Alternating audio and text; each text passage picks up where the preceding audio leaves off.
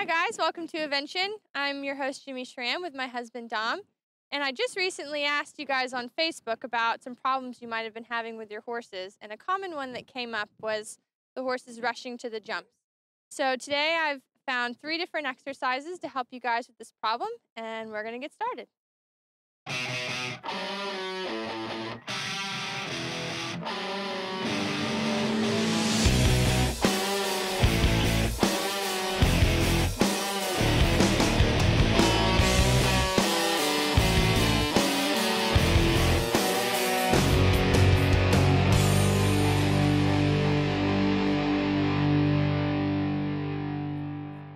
G'day.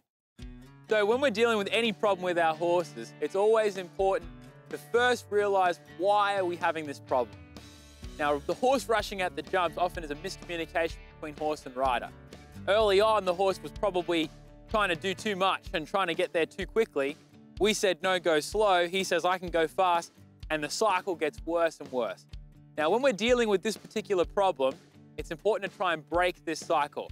Not through force, but by getting the horse thinking a bit more about what he's doing and by getting some more sensitivity with the aids. If you can imagine when you're driving a car, if you're always resting on the brake pedal, eventually the brake's gonna wear out and you're not gonna get the reaction that you want. And that's kind of one of the things that we're gonna deal with in our first exercise, getting a little bit more sensitivity with the mouth without using too much force. Let's get started. All right, so here we are with Emily and Tucker. Tucker's done a handful of beginner novices, so he's a little bit greener and still has a little bit of a problem rushing at the jump. So we're gonna start off with working on the half halt and doing trot to halt transitions. Now, most of the time when your horse rushes at the jump, you tend to try and do a half halt and pull on the reins and the horse throws their head in the air and they run past your half halt and rush to the jump. So we're gonna start working on the half halt with on the flat with no jumps. So Emily's gonna do a handful of trot to halt transitions, just really sweet, trying to keep the horse from throwing his head and working on this for however long she needs to. It doesn't matter if the horse walks into the halt. It doesn't have to be abrupt. We want it to be sweet and we want the horse to listen to the aid. Once you've mastered this, and once Emily has mastered this, we're gonna move on to the trot and canter work. Now in the trot and canter, I'm gonna have her lengthen the stride and then use a half halt and bring it back. Doing this several times, both directions until you're really comfortable is important before adding the jumps in. So once you've done this and the horse isn't throwing their head and they're happy and going around sweetly, you can move on to a jumping exercise. So we're here with a simple jumping exercise for the horse that likes to rush. I like to call it my speed bump exercise. What I have is I have a landing and takeoff rail and they're set at about nine feet. For those of you that didn't catch my gymnastic episode, that's about three human footsteps. Perfect. Now what these do is when the horse comes in, they kind of have to pay attention to what they're looking at and, and get their legs over both on the takeoff and landing side and it stops them from really pelting at the jump. So the idea for us as the rider when we're coming through this exercise is to let the rails kind of do the half halt for us. Now, as we're coming around the corner, coming into the jump, of course we can balance the horse and because we've been doing Jimmy's exercise, our horse is listening a little better. But as we go over the actual jump itself, we've got to try and soften the reins as much as we can and let the exercise slow the horse down. We want the horse to take responsibility for himself and for his own speed. We want him thinking a bit more rather than just mindlessly running at the jump. Okay, so with that all taken in, let's get Emily to come in at the trot. Let's see how she does this. All right, Emily, so get a nice trot going here. Get very straight. Let it do the work for you. Soften your hands. Oh, very good. And so now that she's done that at the trot, we're gonna move on into the canter. Okay, so now that we've uh, gone through this exercise with the cross rail at the trot, we've made it into a little vertical. And as the horse gets more and more relaxed with this at the trot, we'll build up into the canter, but we're just gonna try this uh, vertical at the trot now. We still want the same idea, that we can soften on the horse's mouth and that the, the canter poles kind of do the job for us. And soft hands. Good. And we'll just keep going through this exercise until Tucker starts to relax about it, and then we'll slowly build up into the canter. And then you can actually take the uh, landing pole away or take the takeoff pole away and slowly but surely build up in just to a regular fence. Which leads us on to our Evention tip of the day. Okay, now for my Evention tip of the day. When horses rush at the jumps, that's one of those problems that becomes a real vicious cycle.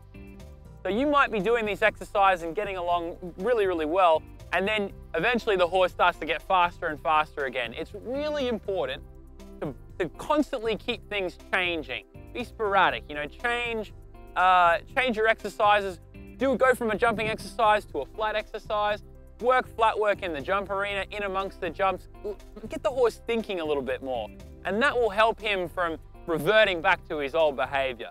So keep it fresh, keep it different, and don't be afraid if the horse starts to get faster and faster again one day to go back to a simple exercise and still finish on a positive note.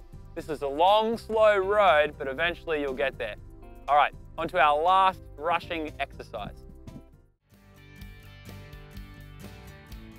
Okay, so we're on our last exercise here. I've got a cavaletti and I'm gonna get Emily to be jumping this kind of on a figure of eight, starting at the trot.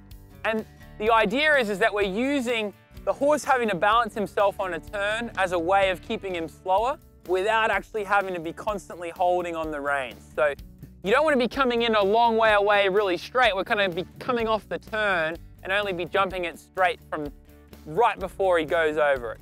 So to demonstrate this, I'm going to get Emily to come around now and she's just going to come around on the circle and pop over this and be alternating direction. Yep, half halt, relax, half halt, relax. Good. And then somewhere out on the circle here, she's going to come back to the trot, doing the same half halts that we began in the, in the very first exercise, and give. It's really important you don't get stuck on the horse's mouth. You've got to keep it constantly changing. Good, well done, Em. And back to the trot again. Make it happen really smoothly, really sweetly. Ah, very well done. Good. And the repetitive nature of this hopefully starts to get him to chill out a little bit. Yeah. And now open the right rein. Good. Well done. Really good. So the idea being is that the horse kind of just slowly but surely realizes he doesn't have to panic and run at this jump in order to get over it. And as he gets better and better and more relaxed about it, we can start to come into this at the canter or turn this into just any other jump and hopefully he starts to improve. Anyways, best of luck with your rushing problems. I know you'll get there.